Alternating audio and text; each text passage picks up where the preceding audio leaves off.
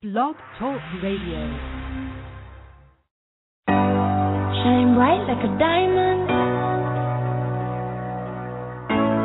Shine bright like a diamond. Find light in the beautiful sea. I choose to be happy. Hello and welcome to My Cultural Conversations with me, your host and producer, Verona Mitchell. Please feel free to call My Cultural Conversation Show, taping live every Monday night at 7 p.m. Central Standard Time. You can call the show at 347 945 6194. Again, the number is 347 945 6194. And please don't forget the online chat room. So stay tuned. You're listening to My Cultural Conversations, and we're coming at you with me, your host and producer, Verona Mitchell.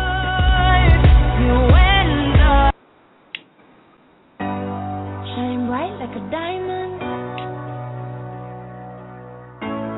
Shine bright like a diamond. Find light in the beautiful sea. I choose to be happy.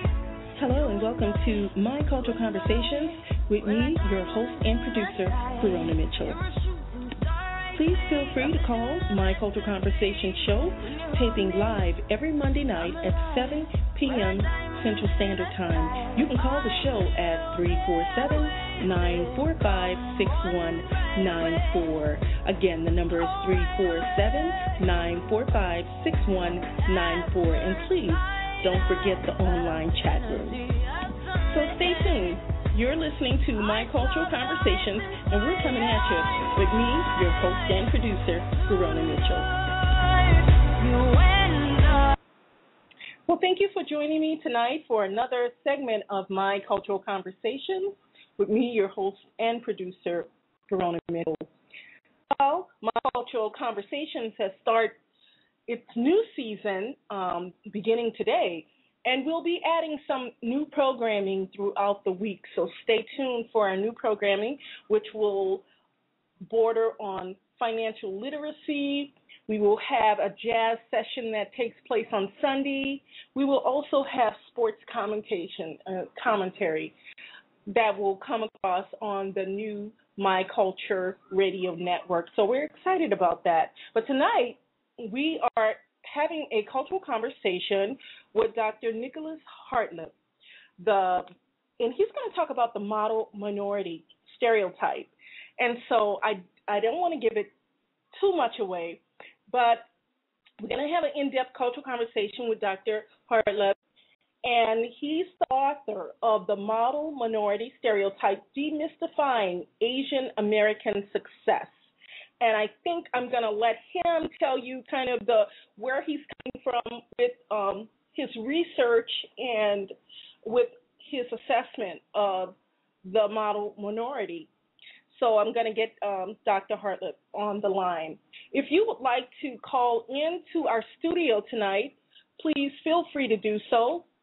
Uh, we're going to have some interview questions that we'll go over with Dr. Hartlep in regards to his his book and also regards to his research. But then after that, please feel free to call the studio. Our studio number is area code 347 945 6194. Again, that studio number is area code 347 945 6194. And joining me now is Dr. Nicholas Hartlep, and he's on the line. Doctor, are you on the line tonight? Hi, Verona. Yes, I am.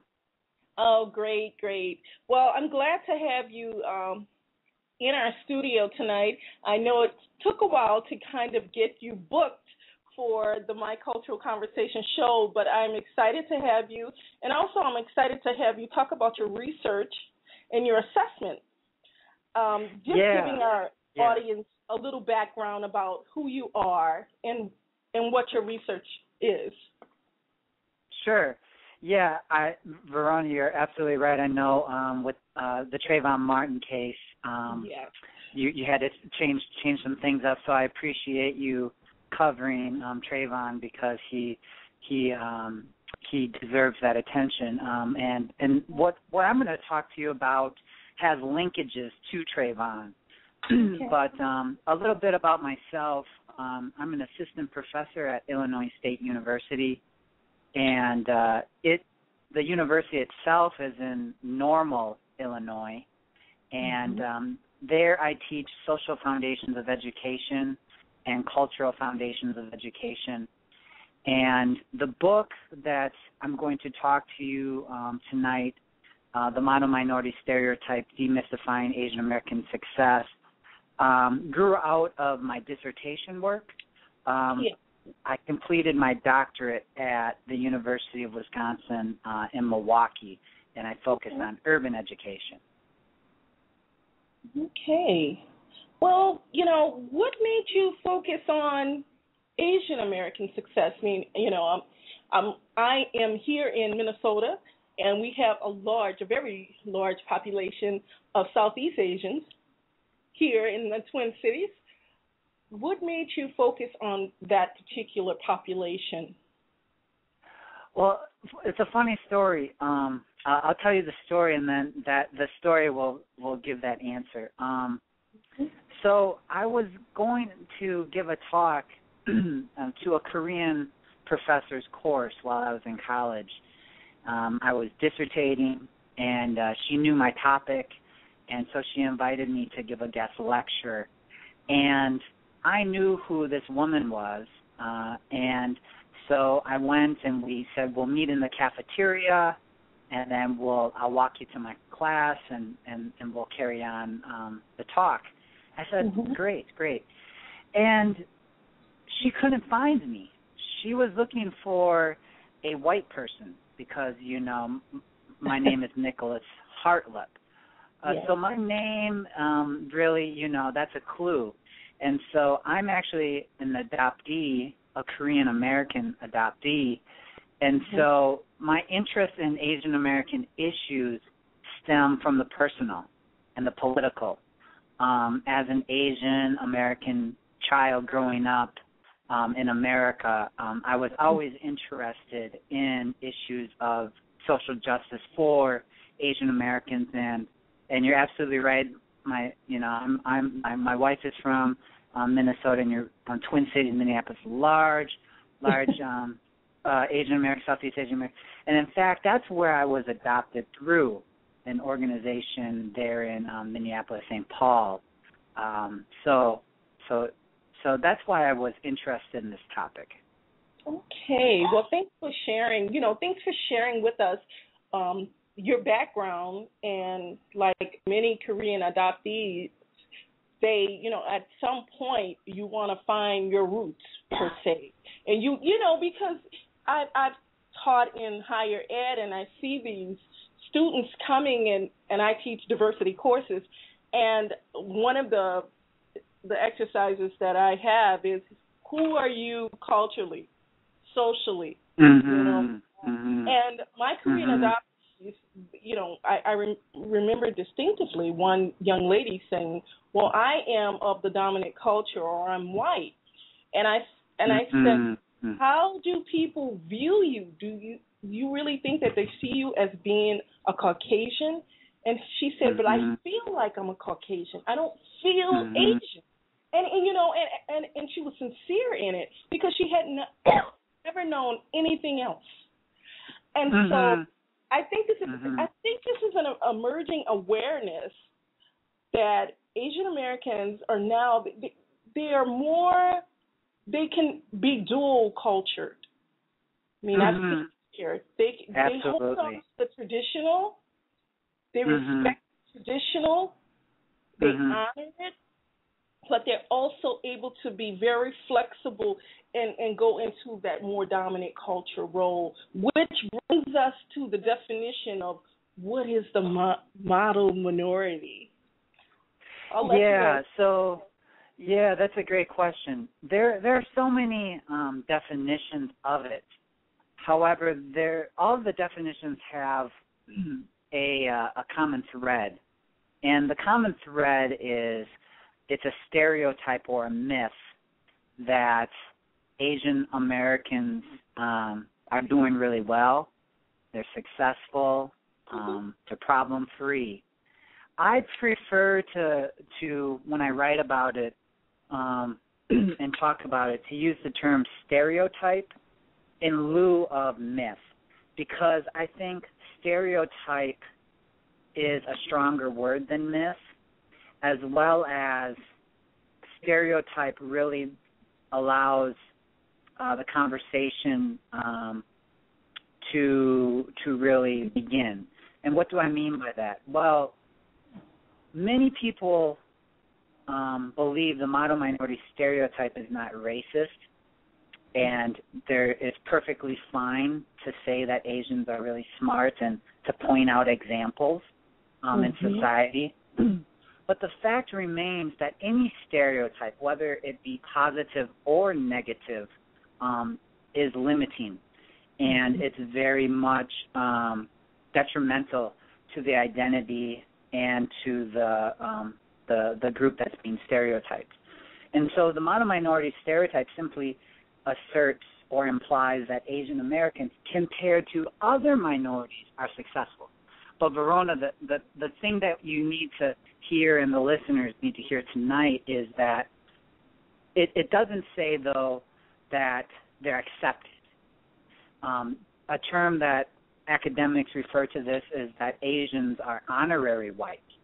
Um, so I would I would agree with your previous statement. Asian adoptees have ethnic options and racial options that blacks do not have in America.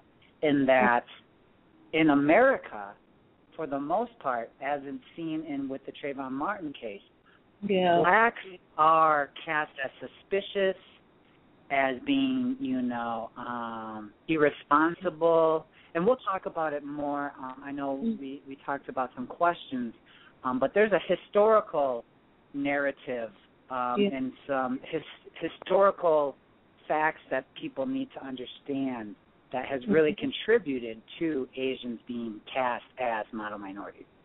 Yeah, you know, I, I and, and thank you for explaining that, um, given that definition because a lot of the a lot of individuals, especially in school settings, will say, "Well, well, my Asian students are are uh, brilliant. They, they they don't cause any trouble. Um, they're quiet. Uh, we can tell them what we want them to do, and they will do it without any um, resistance." And I'm thinking, how difficult is that to maintain on your back on your shoulders these expectations and what mm-hmm. happens what happens when you're just a, a, a regular Asian person that's uh, uh, that's an average person. You're an average person. You make mistakes like everyone else, and you know, is that a, a, a hard burden to carry, or that expectation? You know, absolutely, uh, absolutely. Um, you you phrase that so eloquently and so accurately insofar as a lot of the research is beginning to look at what you have just mentioned the immense pressure, the psychological burden, and the fatigue that is caused by having this elevated um, responsibility, right? so there's two things we need to consider. One, the the damaging effects that this stereotype has for Asians who have internalized the myth and the, the stereotype. What do I mean by that? Well, if student A is an Asian American and really subscribes to the model minority stereotype, really internalizes it, he or she, um, you know, will ultimately, if if they have trouble or or per, perhaps they're not as successful as they believe they ought to be, may do some crazy things. And and and, and suicide is one of the areas that Eliza Noh, um, a professor out in California at UC Fullerton, has looked at extensively the burden and the causes of Asian American suicide. So that's one side of the coin. Another side is um, actually the fact that maybe some Asians are successful. And in that case, what are they doing to perpetuate the, the stereotype? In what ways are they complicit in perpetuating the stereotype? And so Amy Chua, the the the author of Battle Hymn of a Tiger Mom, Yeah. she wrote that book and a series of articles in which Yeah. received national media attention. Right. And what makes matters worse isn't so much of what she proclaimed in her memoir, because you know it's a mm-hmm. memoir. You can write whatever you want in your memoir. The the problem was um, it was almost like a self fulfilling prophecy because her daughter actually got into Yale and Harvard, and so. But the media rarely, if ever, addresses things like, well, Amy Chua was a professor at Yale herself. I, I can't imagine that she didn't have social capital, um, financial capital, right. um, networks that helped her daughter, even a legacy admission. Um, so I just don't, I can't stand by this proclamation that Asians are paragons or examples of success. Um, the last thing I'd say is the stereotype um, really casts a narrow characterization of Asians because it says that Asians are taking over college campuses at prestigious universities, um, and and it looks at academic and economic terms of outcomes and measures of success. It doesn't look at outcomes like, well, how many friends does a particular Asian American have, or how balanced are they, or you know other metrics, or how many politicians are Asian Americans. right. Um, so so there's a lack of voice. So so yeah, it's very problematic.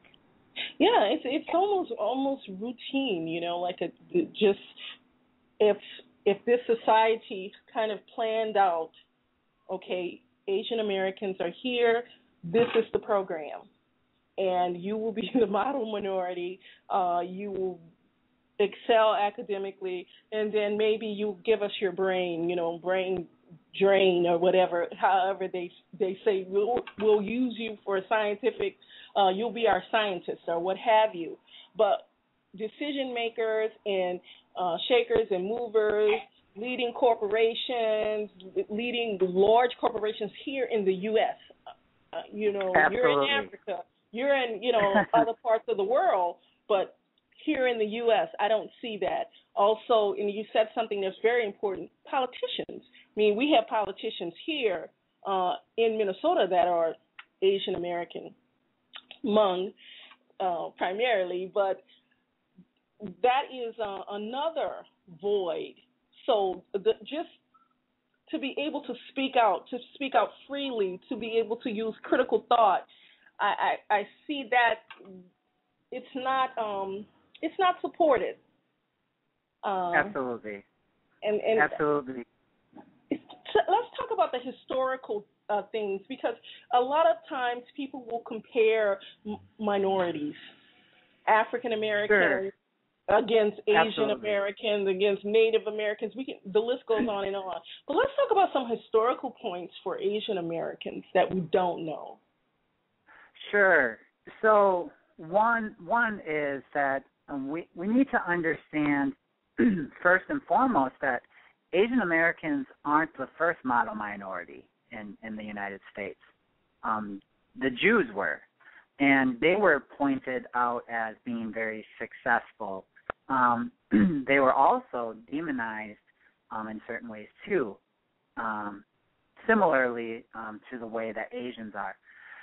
But the history of the model minority stereotype, many scholars point to William Petersen, who wrote a, a New York Times Magazine article or story entitled Success Story, Japanese American Style, um, which was published in 1966. but just just knowing that William Petersen is the founder of this this myth or the the the catalyst for this myth really doesn't help us. We need to know more. And so one thing I would clue our listeners into is the fact that Daniel Moynihan a sociologist and U.S. senator, he wrote a report a year earlier in '65, and the title of that report um, is "The Negro Family: Case for National Action." And that report, um, commonly referred to as the Moynihan Report, set off a whirlwind in terms of demonizing of the poor and demonizing of blacks in America. It essentially blames and and it gives you the clue, the Negro family. We don't use the term Negro nowadays, um, right. but in '65 they were demon. He was demonizing a culture of poverty, which we know is false. A culture right. of poverty does not exist.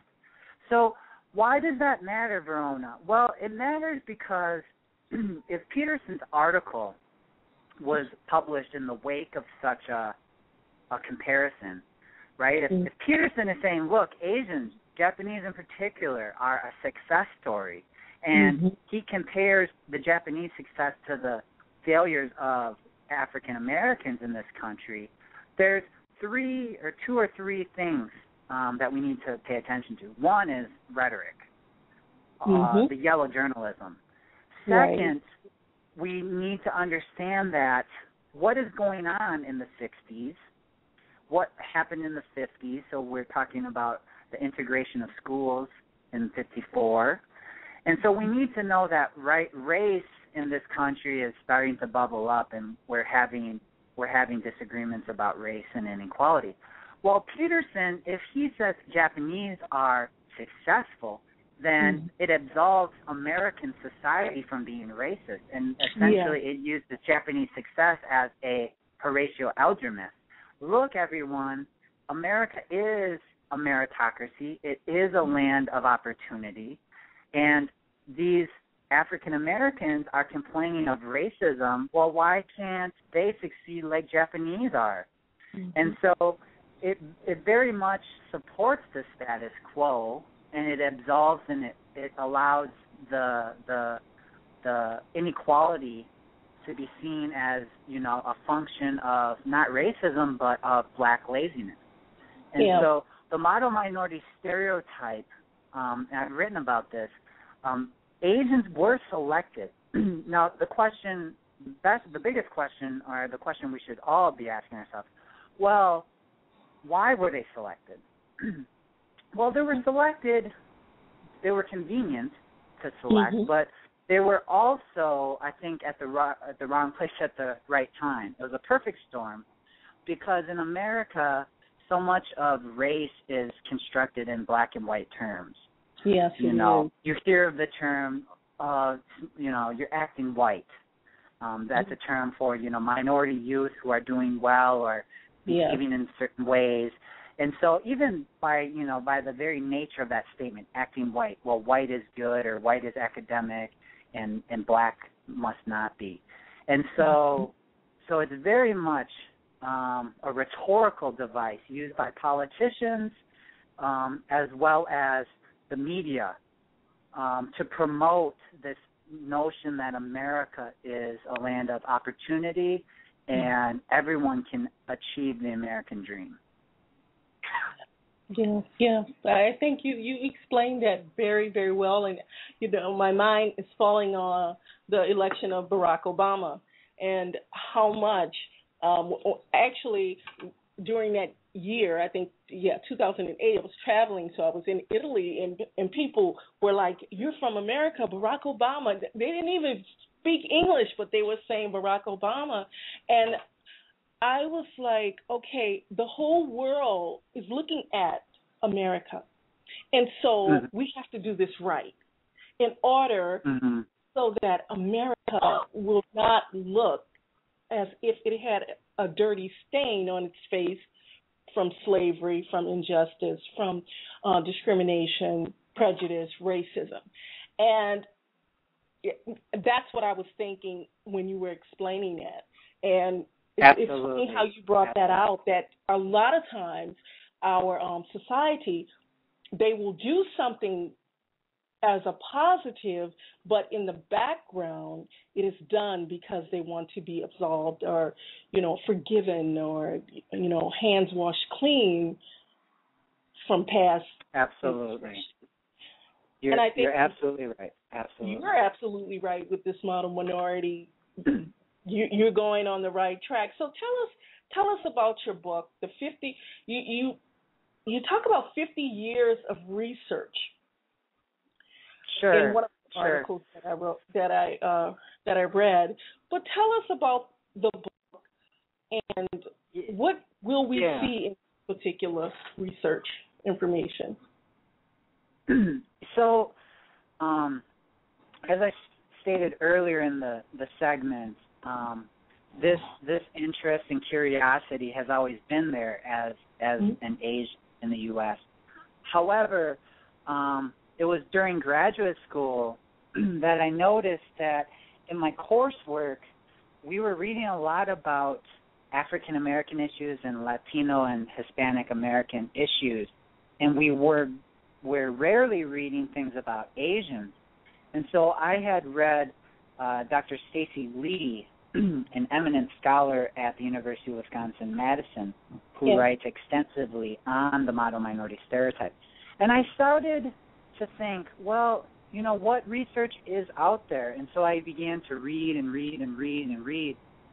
And I and I found out that a lot of people have written about the model minority stereotype over 50 hmm. years of research.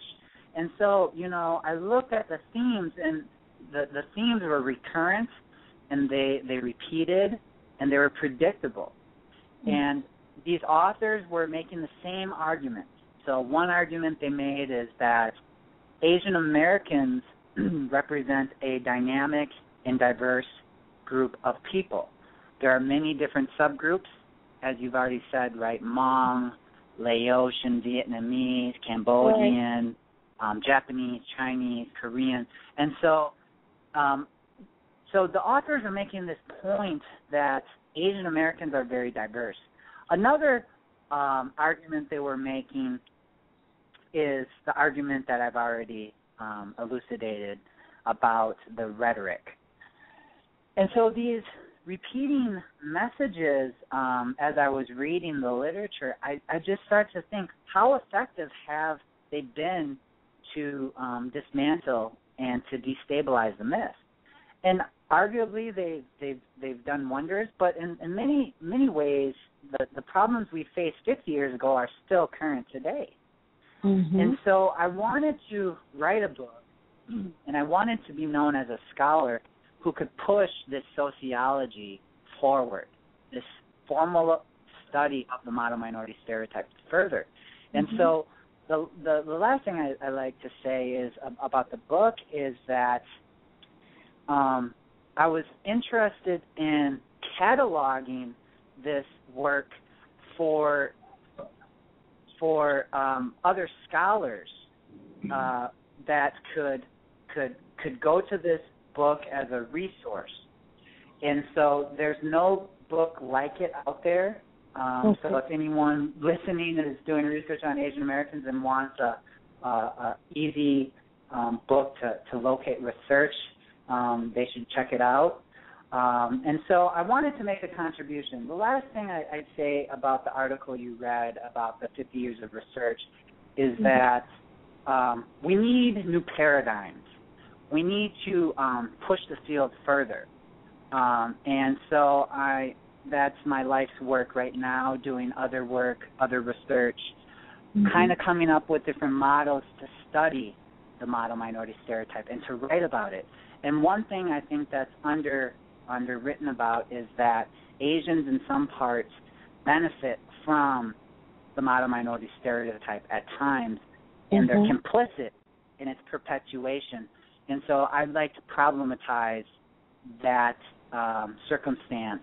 And so right now, actually, um, I'm editing a book with uh, another scholar, and we're looking at at Asian Americans. Um, the title of that book is called "Killing the Model Minority Stereotype: Asian American Complicity and Counter Narratives." And so we have chapters in that book that address things like the Virginia Tech shooting. Um, yeah. it was a Korean American or a Korean um, gentleman who was Yeah. um, guilty of that. Um, we're looking at psychological disorders, um, and the psychology behind the model minority stereotype. And so much work, like I said, paradigmatically, methodologically, um, and statistically, how we analyze data really needs to be, you know, it, it needs to go beyond what I said about diversity and uh, disaggregation. Mm-hmm. That's that's the the trend right now is to look at data and disaggregate it into small groups and then look for patterns. Um, you know, how are the how are the the Korean kids compared to the Chinese kids doing? Um, what what can we attribute to um, one group doing well compared to the others? And mm-hmm. so um, I would argue that more sociological research needs to look at issues of um, mobility and um, issues of sociology and anthropology. So why are Asian youth joining gangs? Um, why are Asian youth killing themselves? Right? What pressures um, are causing them to commit suicide um, and psychological um, illness? And, and, and so those those are the types of questions I'm interested, um, and and I'm sure your listeners are as well. Right. Uh, I was thinking about the gang. They have one of the most powerful gangs here. Uh, they were saying um, in St. Paul, and it's comprised of Asians. You know, all Hmong, white Hmong. Mm-hmm. Mm-hmm. Hmong. You know, I I don't know how people separate themselves, but I was thinking your your research really is actually humanizing it's almost like a you're humanizing and I'm, I'm not saying bringing down or bringing the bar down but you're actually humanizing people and you're saying with this research you're saying that these are are human beings. I mean that's great that you're trying to set them up on a pedestal and you're trying to uh, do something um, in the background to um, to forgive yourselves of sin or what have you or things uh, indiscretions that happened in the past, but in your research, you're you're humanizing a group. Well, th- thank you, thank you for even using that term, uh, Veronica, because that's a that's a I'm, I'm smiling. I know. Um, you're. It, it, it is um that's the that's the goal, and and that's the, precisely actually what I tell my colleagues and my students is is this process of of humanizing, and that's I, I like to segue by saying um, I mentioned that we need to push the field further and new paradigms need to happen. Um, one one way that that's happening is the field has become more interdisciplinary.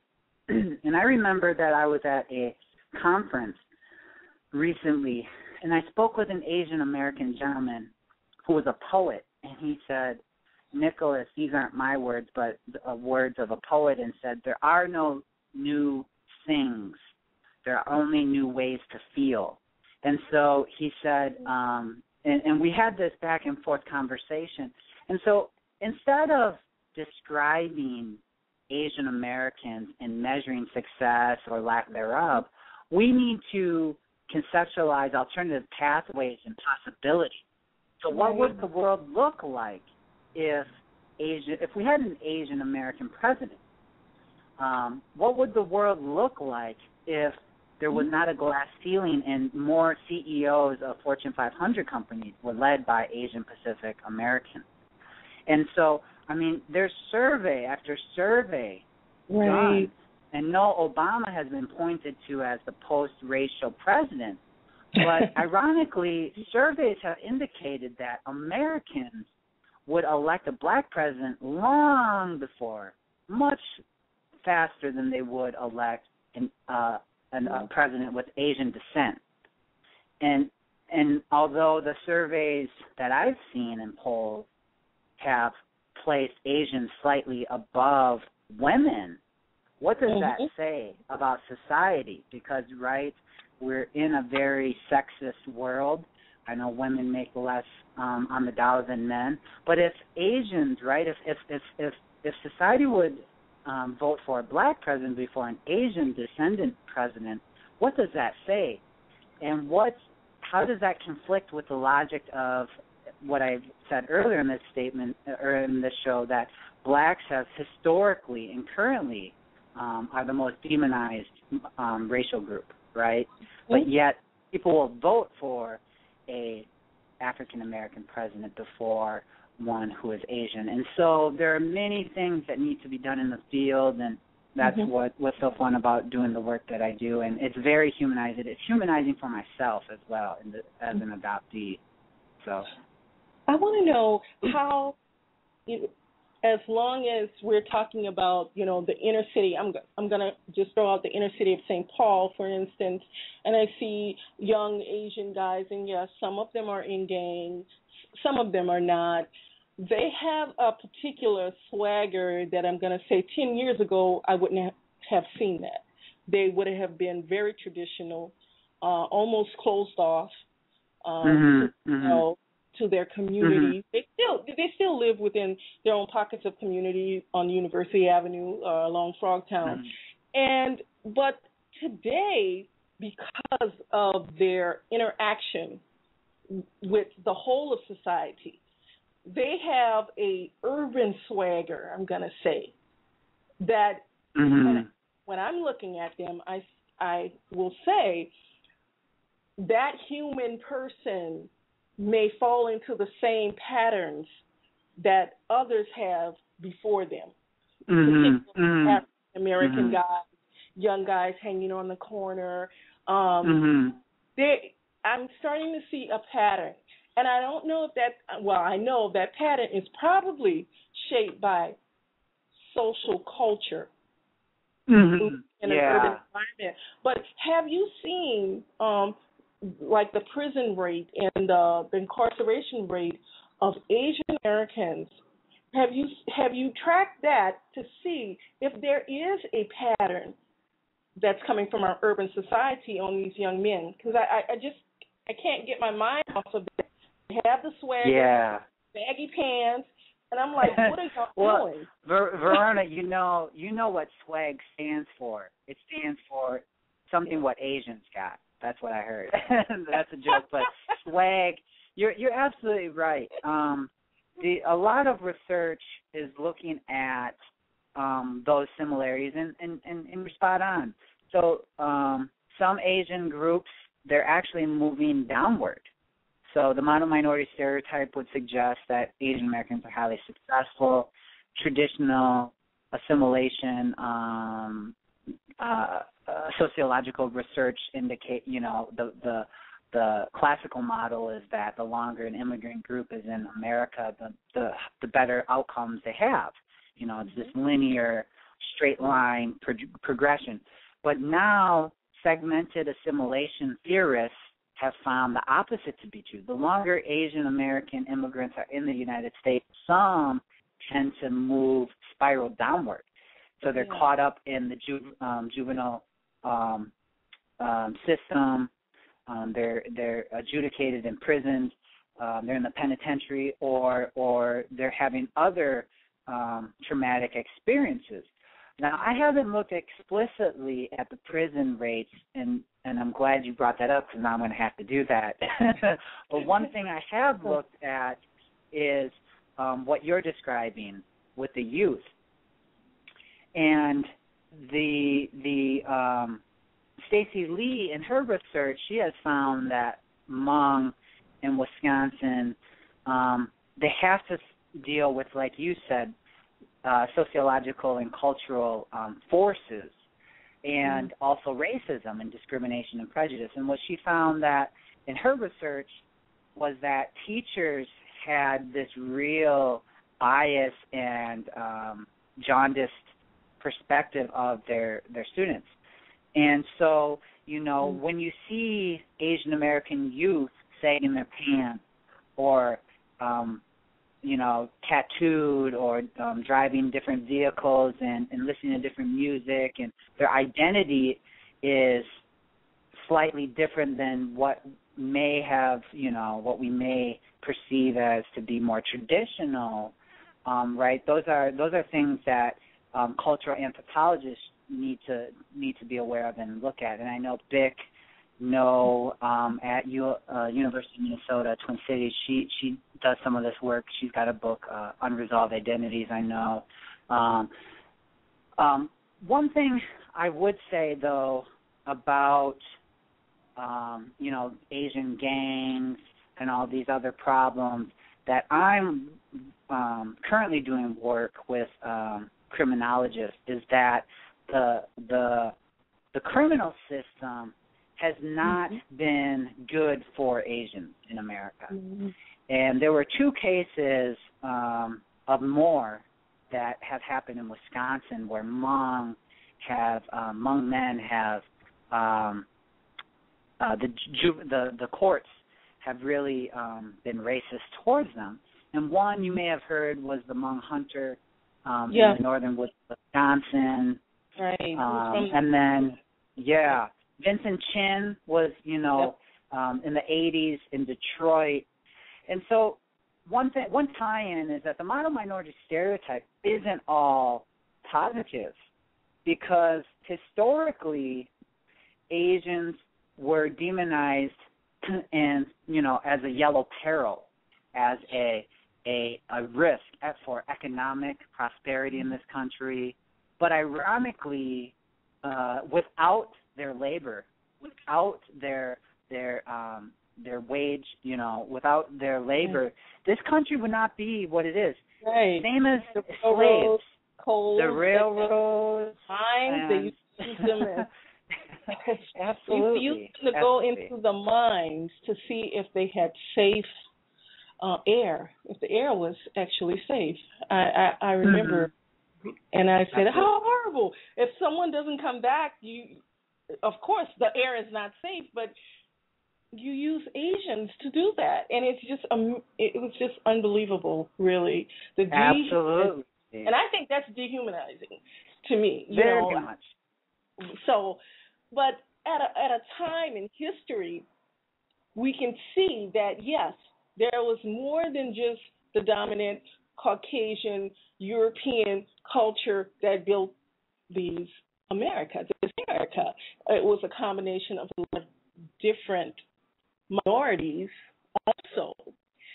And A- a- a- absolutely, absolutely. When it's very interesting. This, this thing interesting to me, Neil. It's really is.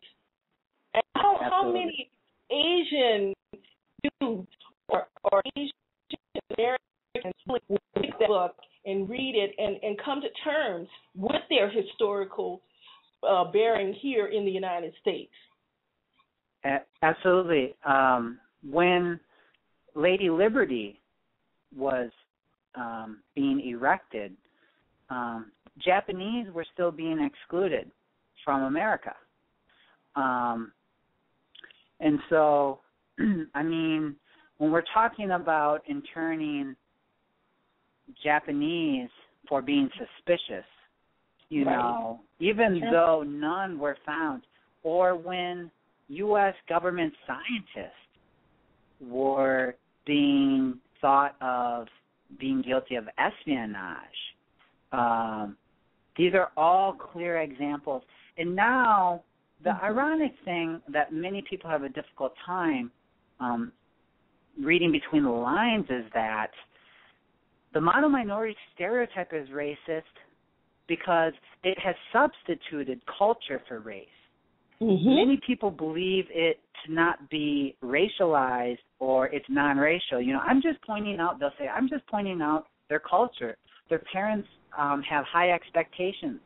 Well, anyone that knows anything knows that if that's true, well, historically, blacks have been um, told that they don't value education and that if their parents were only more involved, and so it's very much juxtaposed if you take any stereotype of blacks and you invert it, it's very much supportive of the minor minority stereotype. Yeah, I, I'm starting to kind of see the light in your explanation. I want to get back to this uh, this hunter. Um, that story kind of Mhm. stayed with me, and being studying ethnography and culture, I wanna I wanted to see it from his eyes. And again, I, I'm only seeing human, and you're chasing me. You're six or seven people are after me because supposedly Mhm.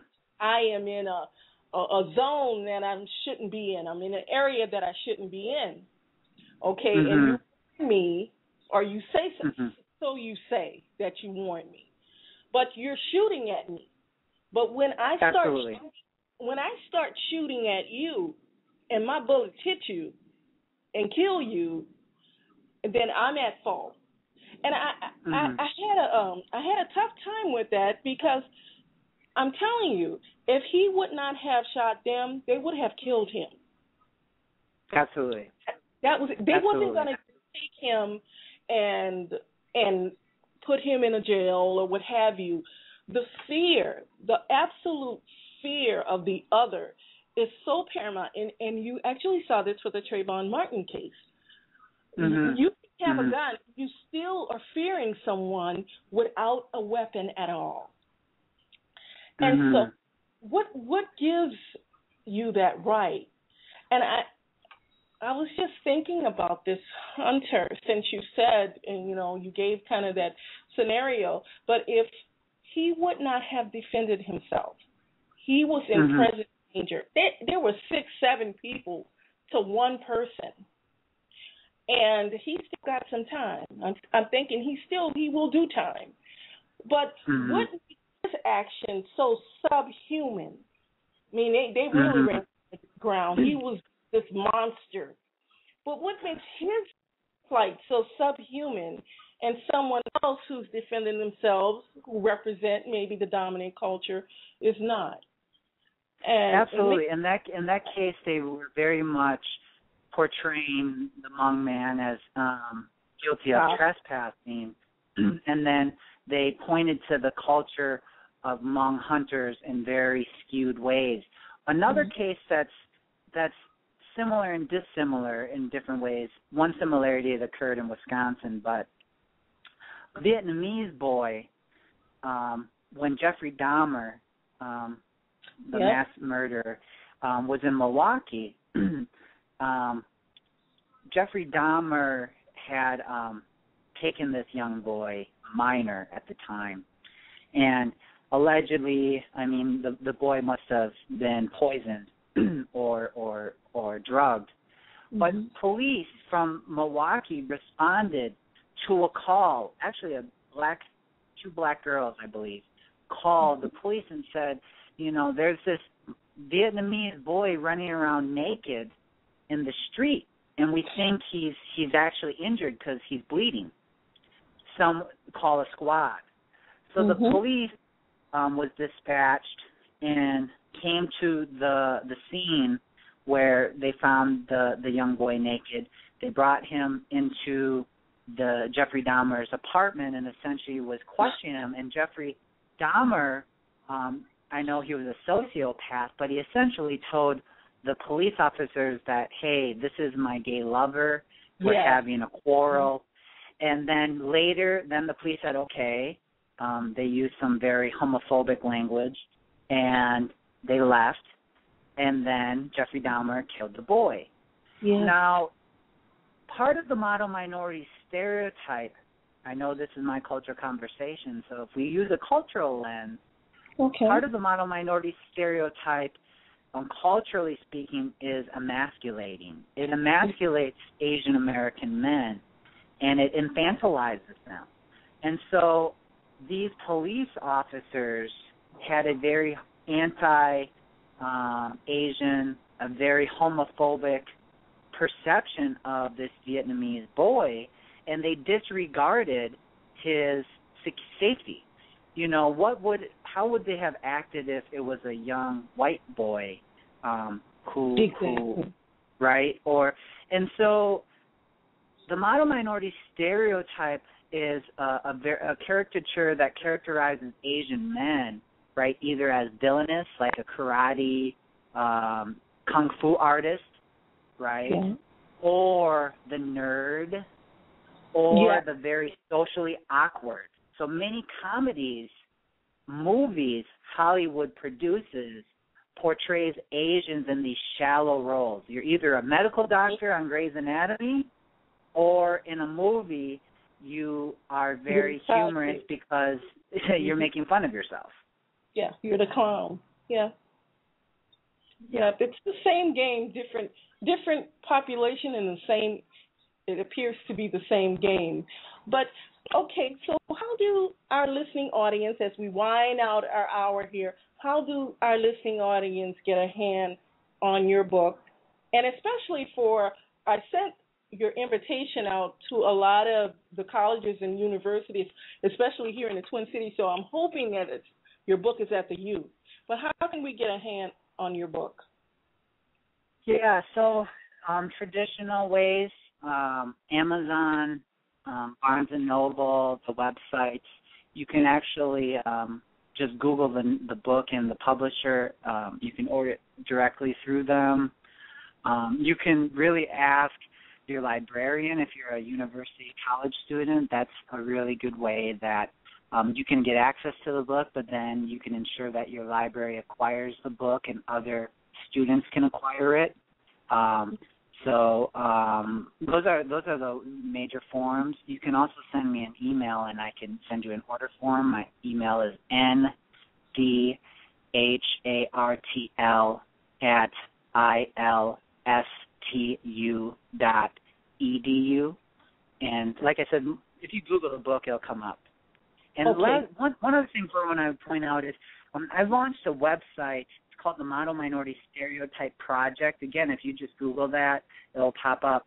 And many of the um, it's it's kind of like a, a bibliography sheet that if, if you're looking for research, if you're a student or a parent or an educator and you're listening to this show and you want more information on it, just go to that website and you'll find more than more than you than you know to do with. Okay. Well, I I, I want to thank you, but before I thank you for that, you're going to go on a book tour. You have to go on a book tour, and you have to come back to to Minnesota. You know. Oh yeah, absolutely. absolutely, absolutely. Because because our school year is starting, and um, I can just see you uh, speaking to a lot of our uh, superintendents and uh, universities here in the Midwest area because it's needed. It's really needed. You know, you just hate to see, I personally hate to see pockets of our population, regardless of what their racial or ethnic backgrounds are, just falling through the cracks. And so your research can give valuable information to parents and teachers and you know school administrators and just society in general on how to engage and how to respect where individuals are in the humanization of individuals you know and so i i think it's just brilliant what you have accomplished through that research so Absolutely. thank you. We I just I just did an interview with Illinois. I think it's it, it's going to be um I assume on public radio. Yes. So that's coming out soon. So people if you listen to public radio that will be out and um and and, and absolutely I'll be in Milwaukee giving a talk um for Asian American month um later um in the year um for next this upcoming year and absolutely I'd love to talk more with folks in Minnesota, in particular St. Paul, Minneapolis. Last thing I'd like to say is um, initially on the segment, I, I pointed out that the Trayvon Martin case was similar to what this book is about. The, so we have to understand the model minority stereotype. We're not talking about just researching Asian American students. We're understanding also that this um, model minority stereotype divides and conquers all folks of mm. color. And so when an injustice happens one place, it's happening to us all. So we're all impacted by Trayvon Martin. And the Asian American and African American and Hispanic American, we need to form coalitions to end and put a stop to racism and mm-hmm. better understand one another. Because when we don't understand people, we make things up. And so the model minority stereotype is like a bikini. It it, it it's suggestive. Um, mm-hmm. it, what it reveals is suggestive, but what it conceals is very vital. And what it conceals is vital for its perpetuation and for people to believe in it. So if we can expose the model minority stereotype for what it is, and that's racism, then we can begin to have cultural conversation and critical dialogue that's necessary to talk about um, these challenges and what's what's causing this. And that's what I mean by Asian Americans have to be they have to stop being complicit. As an Asian American, if you're listening to this show and you're benefiting from it, you're really not benefiting from it because in, at some point you will become oppressed and Mhm. you you know not to say you're going to commit suicide but at some point you have to understand that it's very much white supremacy that maintains the model minority stereotype and it's not your success and so um that's that's the humanizing um element of it. And i really appreciate you pointing that out because that that puts a smile on my face because that i mean it's a very important work so thank you so much. And I, and you know, and I'm thank you, and I'm glad that you chose to study yourself. You know, Mhm, when, mhm. when that when that um, individual or uh, lady or colleague looked for you in the in the cafeteria, yeah. um, I, I can say that she didn't only look for you because of your name, you know, and associated that with uh, the dominant culture, or, or it thought that you were European American or white. Mhm. But we don't get an opportunity sometimes to study and become experts on ourselves. Oftentimes, we have others study us and then they present us. So I, I want to thank you. Mm, amen amen I want to thank you for really representing, and there's nothing wrong with representing, you know, your Mhm, culture mhm. and giving Mhm. others an insight to your culture. What- amen i would agree You know, you're an Asian man.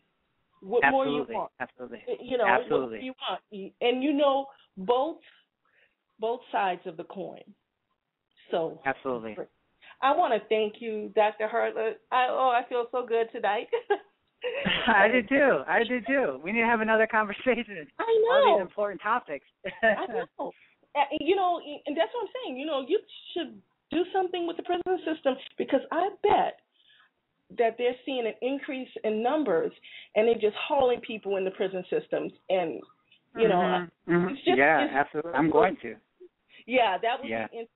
Well, I want to end this session by saying thank you, and I honor your spirit here tonight. And if you could just shout out those email addresses again, I would really appreciate it, and our audience will appreciate it. The website. So if they can get to the website, they can get Yeah, so if they else. search for Model Minority Stereotype Project, it will come up. It's it's my blog with I uh, Illinois State University, and my email um, is ndhartl at ilstu dot edu. Or if you even Google me, uh, Nicholas Hartlep, Illinois State University, you'll find my information on on our faculty website. So Okay. I'm also Well, on Twitter. Oh, I'm Twitter. also on Twitter. Yep. At Okay. N Hartlep. At N Hartlep, you'll find me. Okay. Well, thank you so much for gracing our show tonight, and you've been uh, invaluable with the information and the research that you're doing. Just keep it up. Thank you. Thank you, Verona. Have a good evening. You too. Well, that was Dr. Nicholas Hartlep on the minor- minority stereotype, uh, demystifying um, the myths and untruths regarding those stereotypes. And, you know, it's very interesting and it's very important that we tell our own stories. And so it was great that as an Asian American man, as a man, as a human, he can add to the quality in the body of work that's out there. So thank you, listening audience, for joining us tonight on My Cultural Conversations. Join us next week. Find light in the beautiful sea. I choose to be happy. Thank you for tuning in to My Cultural Conversations with me, your host and producer, Verona Mitchell. My Cultural Conversations airs live Monday at 7 p.m. Central Standard Time with rebroadcast of the show Tuesday, Wednesday, and Thursday, 12 noon Central Standard Time. If you would like to drop us a line, please do so at info at myculturalconversations.com or Verona at myculturalconversations.com. Please tune in to our next week's show, which will air live again Monday at 7 p.m. Central Standard Time. This show is published and produced by My Cultural Conversations online blog and My Cultural Conversations through Blog Talk Radio. Thank you. See you next week.